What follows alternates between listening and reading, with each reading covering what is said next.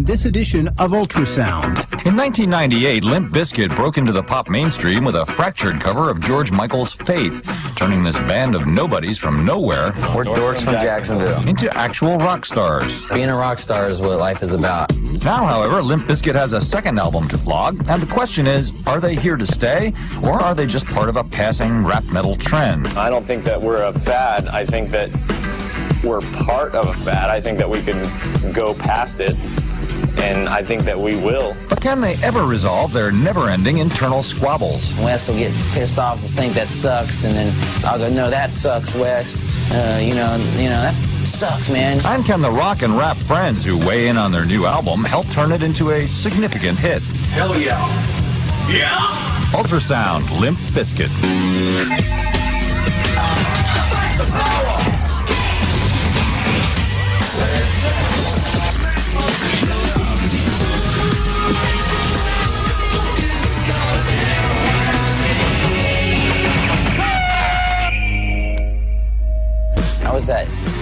In like seventh grade. I remember like wearing a Michael Jackson jacket and like breakdancing and like in Michael Jackson.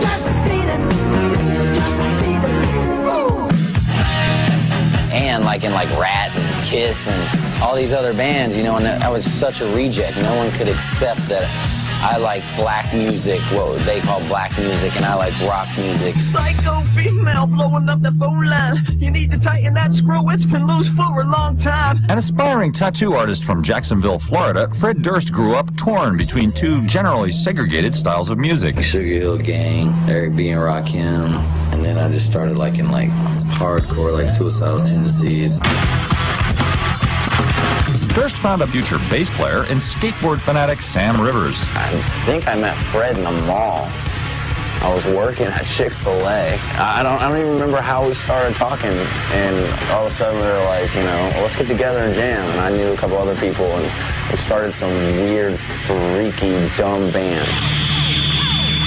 Rivers had been inspired to become a musician by his jazz-loving cousin, drummer John Otto. But all I can tell you is it started right here, baby. Right here. Together, they joined forces with Durst in 1994 to form an early version of Limp Bizkit. We're a three-piece, and I was playing guitar and, and rapping, which I can't play guitar. And so I had everything tuned in one string, so I can just go, you know, one. I was like, you know, one stringer, you know, and all the songs were were uh, like really whack. I mean, you know what I mean? But it's like there was this vibe.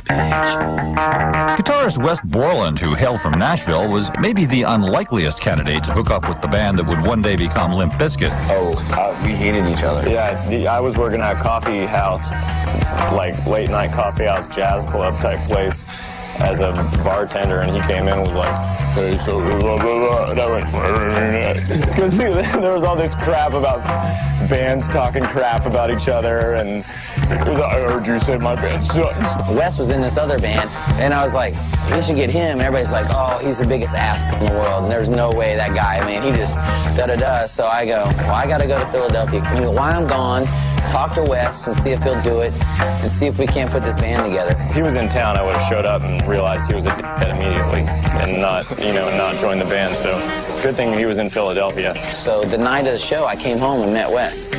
Like, that was Limp Bizkit's first night, was the night of a show. The four of them spent 1995 playing around Jacksonville, a city from which the big time can seem very far away. We were all like ready to hate each other. We're like, man, this sucks. we're not, nothing's gonna happen, you know. And then I met Korn.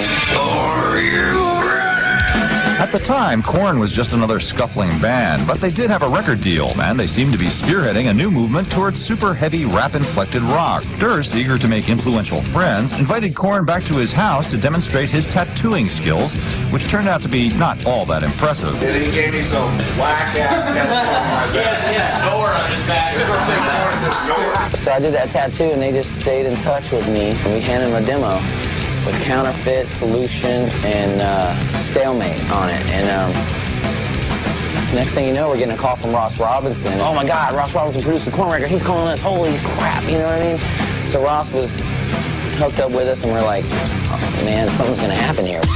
And something did. Out of nowhere, the white rap act House of Pain booked Bizkit as the opening act on a short Florida tour.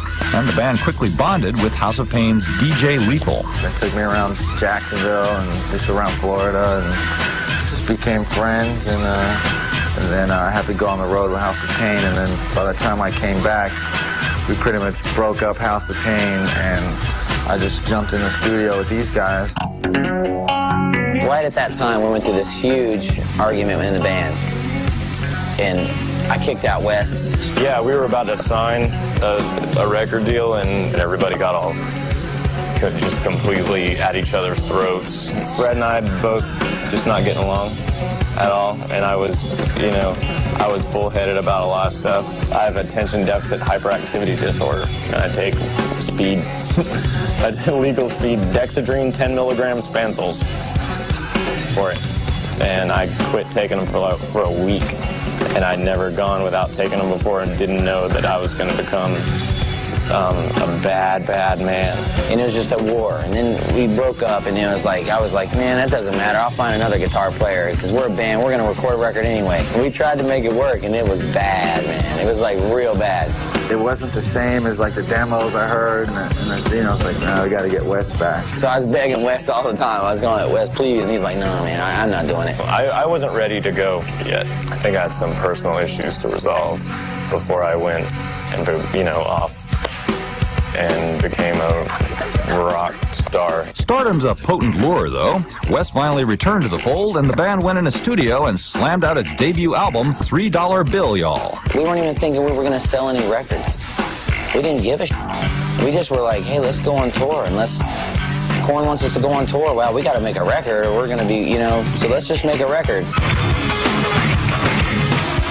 Still, it took a year before Limp Bizkit started breaking on the band's first headlining tour called Ladies' Night in Cambodia. That tour, kind I think, and with all of us, set off a little spark.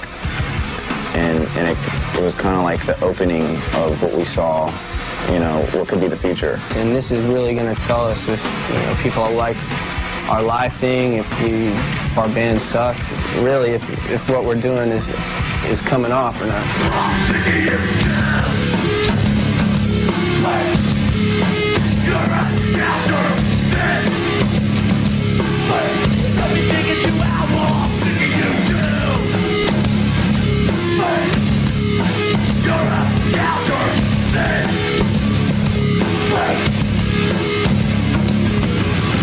Were there for us, and that was unbelievable. That when we have fans calling us by our name, going, hey, Wes, and I'm like, did he just say Wes? That's really weird. It was just like a dream come true. I mean, not everybody gets to experience that, you know, and like, all I can say is become a rock star, man.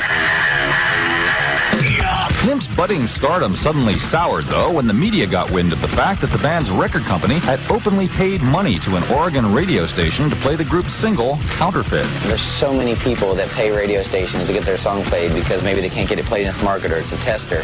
And coincidentally, Limp Bizkit did it one time. And so all of a sudden we're on the New York Times and we're the worst band in the world and we committed this big crime. Well, can kiss my ass because it worked. The Payola story may have been bad press, but it was press, and together with a growing underground buzz, that helped build concert demand for the band.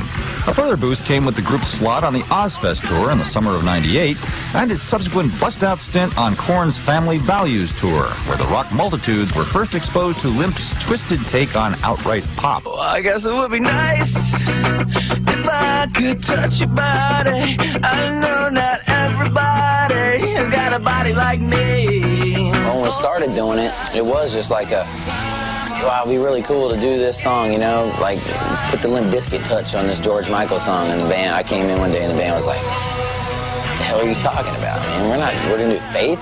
I go, trust me, man, we'll do it kind of beginning, kind of cheesy like he did it. And then we'll just, you know, blow it up.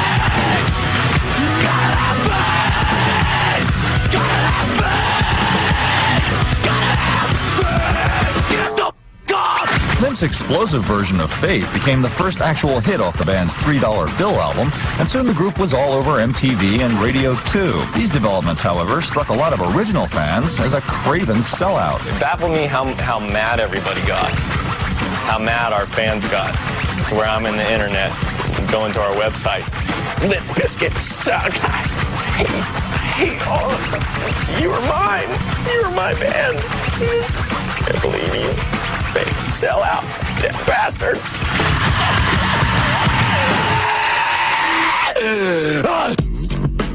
Fred gets on my nerves like you won't believe.